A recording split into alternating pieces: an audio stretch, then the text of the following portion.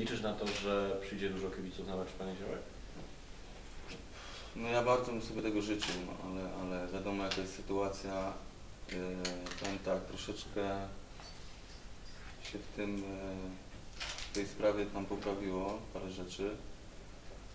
Mm, I być może, być może jeszcze w tym tygodniu takie spotkanie się odbędzie yy, Rady Drużyny z kibicami i być może ci kibice, ci najzagorzalsi, yy, jest taka szansa, że po naszej prośbie po prostu pojawią się tutaj na mecz. Ale to nie, nie będę nic obiecywał, e, bo to jeszcze zostało tam parę rozmów e, i parę rzeczy do przedyskutowania. Ale, ale ja ja bym sobie bardzo tego życzył i, i na pewno drużyna też, bo e, tak jak pokazał tutaj wyjazd do Gdańska, że, że no jednak inaczej człowiek się czuje, gdy, gdy wychodzi i ma za sobą tam, tak jak w Gdańsku, tam 200 czy 300 osób na obcym terenie. E, a tym bardziej u siebie, gdzie jest wsparcie wiadomo tam mega, mega duże.